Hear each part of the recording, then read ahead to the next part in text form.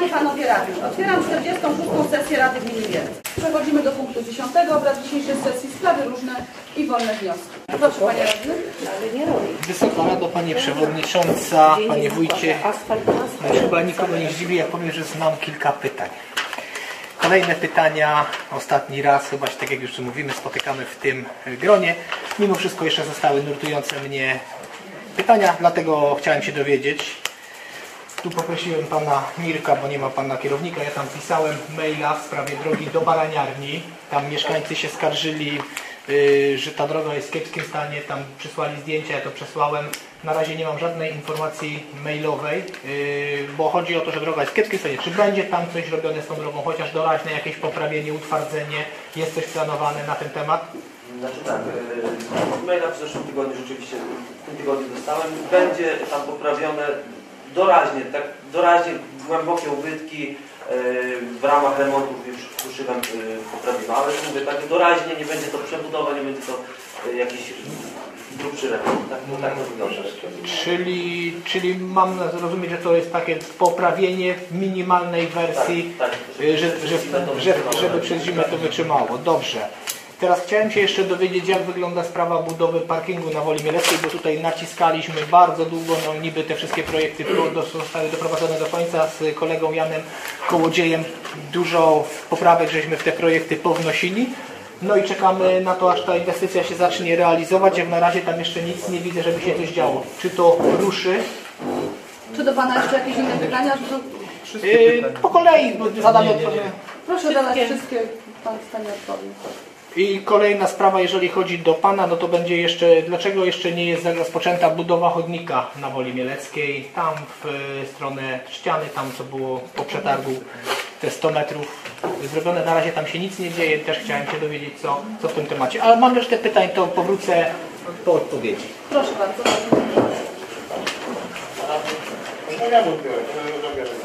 Proszę bardzo Panie Przewodniczący. Tak, powiem tak, że Szanowni Państwo, jest to ostatnie spotkanie wszystkich Państwa i, mm, mam takie wrażenie i takie odczucie, że nie będzie okazji się spotkać po raz drugi w tym samym licznym gronie, bo że naprawdę miło, że wszyscy Państwo tu przyszliście na sesję.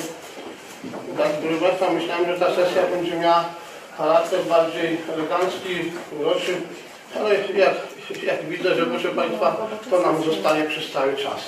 Yy, Szanowni Państwo, chyba na tej ostatniej sesji chciałbym tych wszystkich uzmysłowić, że świata nie zbawiły. Tyle, ile żeśmy go dali radę zbawić przez te 4 lata, to proszę Państwa, żeśmy go zbawili.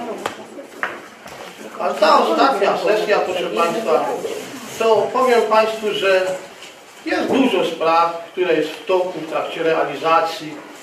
Myślę, że one dojdą swojego dobrego końca, tak jak i te wszystkie sprawy, które żeśmy zaczęli wcześniej dużo. Tak samo mówię, tu pamiętam, pan Stefan czytał raport z przewodniczący komisji z sierpnia, że nie było opaski, ale w październiku już ta opaska była. I proszę Państwa, tak oczywiście. I bardzo się cieszę, że komisja przejechała, zobaczyła, widziała, jakie są uwagi. To wszystko zostało później zrealizowane, wzięte pod uwagę, proszę Państwa, i wykonane. Tak samo sądzę, że dzisiaj te sprawy związane dzisiaj z budową parkingu znajdą swój optymistyczny finał. Ten parking wykonamy, zrealizujemy. Nie ma się co dzisiaj, proszę Państwa, o, o niego, proszę Państwa, tutaj na sali jodłować, prawda, i tam, e, proszę Państwa, e, nie wiadomo, prawda, jaką górę, prawda, problemu widzieć. Myślę, że również jak chodzi o, o chodnik w Woli Mieleckiej, to pan starosta, bo to jest w jego rękach w tej chwili Podkarpackiego Powiatowego Zarządu Dróg, to zrealizuje go w tej mierze, w jakiej tam jest przewidziany na ten rok do realizacji. Myślę, proszę Państwa, że będzie również wiele innych spraw, które na pewno i sołtysi by chcieli wnieść i radni. Ja, proszę Państwa, myślę, żebyśmy sobie tak nie, nie psuli tego ostatniego dnia taką samą wojną do samego końca, jaka tu najczęściej na tej sali się toczyła. Przecież my jak gdyby uszanowali siebie nawzajem i proszę Państwa, na, tym ostatnim dniu podeszli z problemami do pracowników, bo po to oni siedzą, czekają na Państwa. Jak gdzieś jest problem z chodnikiem, czy jakimś mostkiem, po to jest pracownik, do niego można podejść. A dzisiaj, proszę Państwa, myślę, że jest ten moment, żebyśmy się elegancko i w bardzo przyzwoitym nastroju Wszyscy tu rozstali. Dziękuję serdecznie. Dziękuję. I jeszcze- Panie wójcie, to, że jest to ostatnia sesja, to nie znaczy, że nie jest to sesja robocza. Podejmujemy uchwałę tak na każdej innej, a na podziękowania i na, na pożegnanie będzie czas na koniec sesji. Ja tu nie widzę żadnych wojen, po prostu normalna praca Rady. Nasza kadencja się jeszcze nie zakończyła. Tym bardziej, że na, na ostatnich sesjach ani komisjach Pana nie było, więc tych spraw się nazbierało, więc proszę nie mieć do nas Ja dzisiaj jestem na urlopie też. Jeszcze ja. Proszę bardzo. Pani Przewodnicząca, Wysoka Rado, y, Panie Wójcie, no, ja też odebrałem taką informację, że to jest y, ostatnia sesja, ale sesja robocza, stąd sprawy robocze. Y, Kolega Mariusz uprzedził mnie z pytaniem odnośnie parkingu i proszę go nie odbierać jako jakiejkolwiek wojny, tylko zwyczajna ludzka ciekawość, moja i mieszkańców także. Proszę iść do pracownika. I Pani- ciekawość to ma pełną wiedzę formalną. Panie Wójcie, z całym szacunkiem.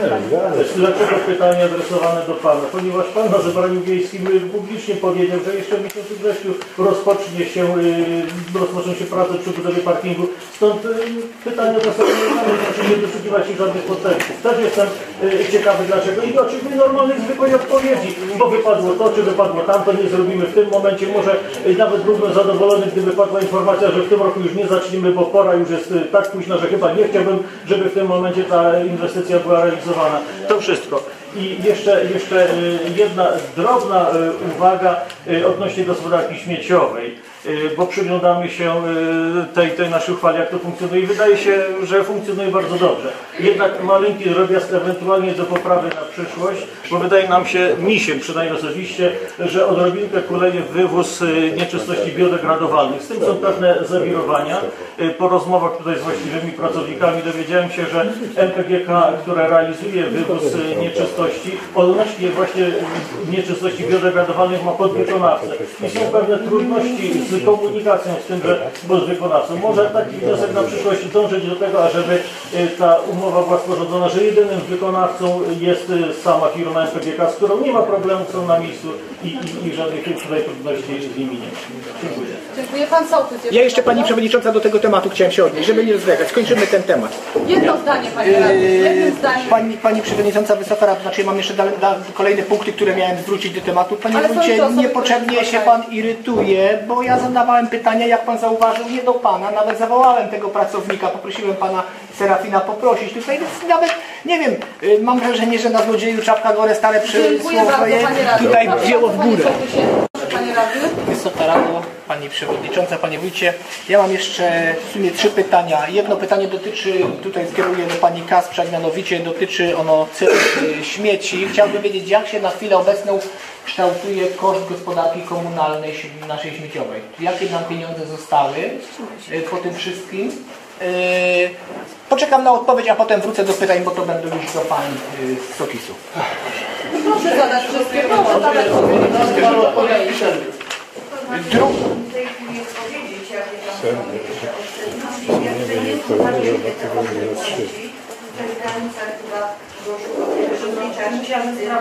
Czyli, czyli nie są to jakieś ważne, duże oszczędności, za które warto by było jakieś ruchy robić. Znaczy to, że są niewielkie oszczędności, no to, to, to bardzo dobrze, że są, że nie dokładamy, tylko że jak są, jak są te... Wypłacą, no to y, jednak... Około 80 tysięcy. Tak. Aha, czyli taka kwota by była. Upomnienia, ludzie faktycznie na te upomnienia reagują, wpłacają, także w tej chwili trudno tak dokładnie określić, jakie by to były. Jeżeli chodzi o te cmentarze, no chciałam jeszcze... Tutaj raczej nie dyskutujemy w tym momencie o cmentarzach, to chyba... Dziękuję, to dostałem odpowiedź. Y, Wysoka Rado, pozwoliłem sobie zaprosić Panią Dyrektor i Panią Kierownik Sokisu, bo mam takie pytanie. Na forum y, strony internetowej, której prowadzę, dotarła do mnie informacja, mieszkańcy tam napisali, że zajęcia Sokisu w Woli Mieleckiej y, zostały wprowadzone jakieś opłaty. Byłem tą informacją, przyznam, zaskoczony. Tam któryś z mieszkańców nawet podał mi, jakie to są kwoty. Nie mówię, że są to może kwoty wysokie, ale z moich obserwacji, jak ja się przyglądam y, tej działalności w tej chwili, nie widzę tam takiego przeładowania, przejeżdżając, żeby tam aż było tak y, pękała w szwach ten ośrodek.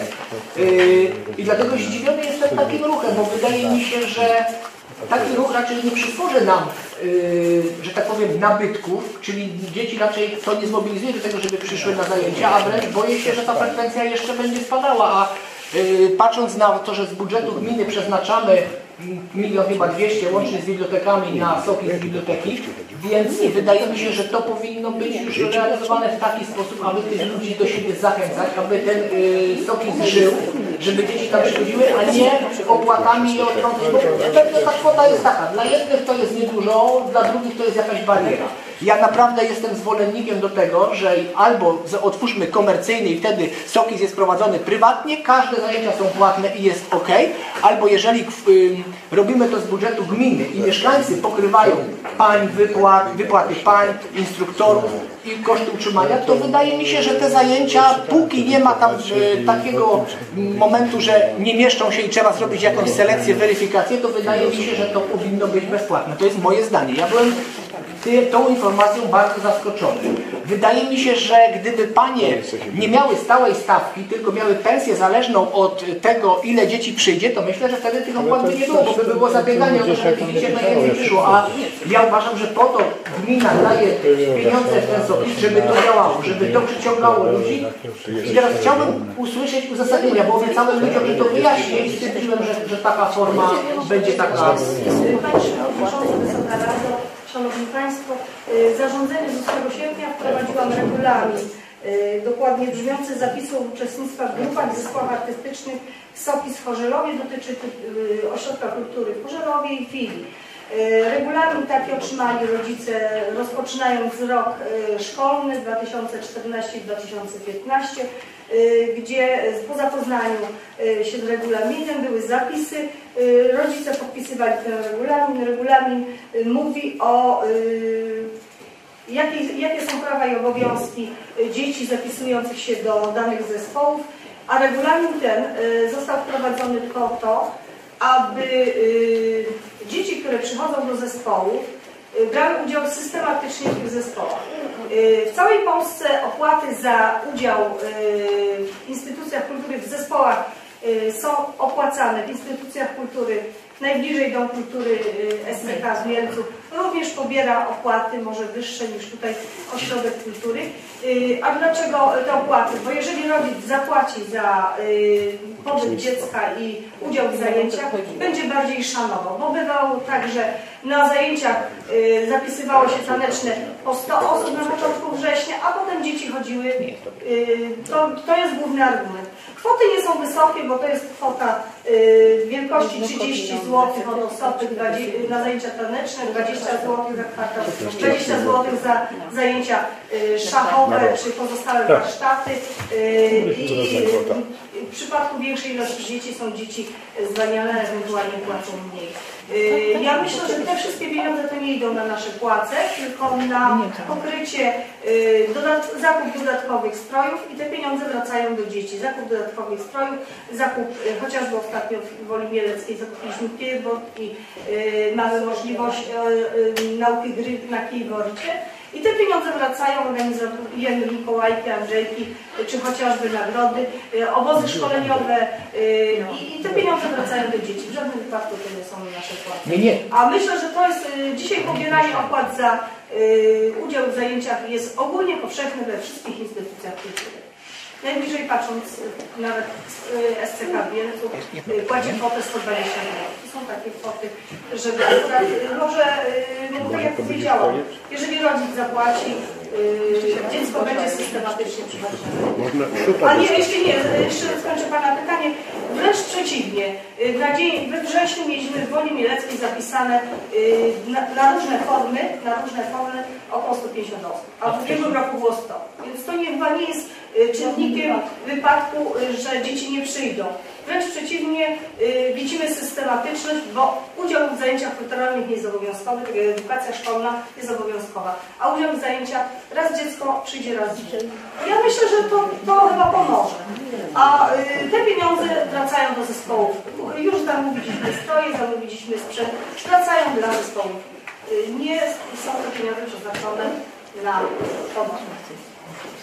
Dziękuję bardzo. Jeszcze jedno pytanie. Y, Pani dyrektor, to się cieszę się, że, że frekwencja wzrosła. wzrosła bo ja się bałem, że to spowoduje obniżenie. Jeżeli wzrosła, to jest super, bo o to chodzi, żeby to żyło.